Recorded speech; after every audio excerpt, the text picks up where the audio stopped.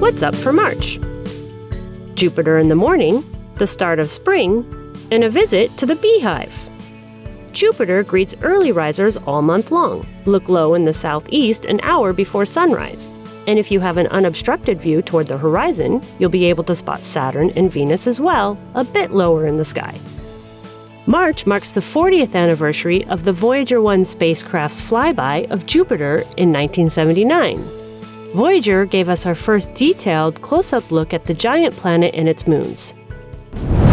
March also brings the beginning of spring in the northern hemisphere starting on the 20th with the spring equinox. Equinoxes occur twice a year in spring and fall on the dates when day and night are of equal length.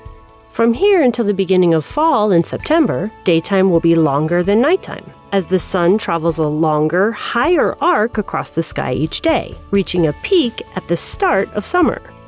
It's just the opposite in the southern hemisphere, where March 20th marks the fall equinox.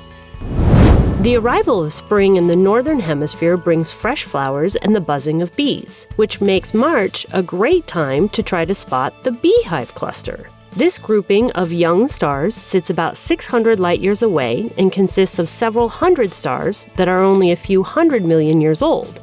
That's compared to our sun's 4.5 billion years. Although the beehive can be seen as a small fuzzy patch with unaided eyes under dark skies, it's best viewed with binoculars. To find the beehive cluster, look south and follow a line from brilliant Sirius, the brightest star in the sky, upward and slightly to the left toward another of the brightest stars, Procyon. Continue that path about the same distance upward and then a couple of finger widths to the left.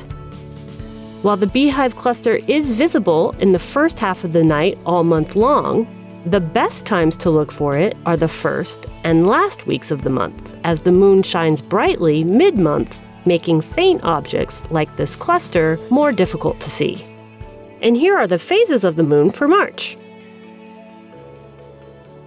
You can catch up on all of NASA's current and future missions at nasa.gov.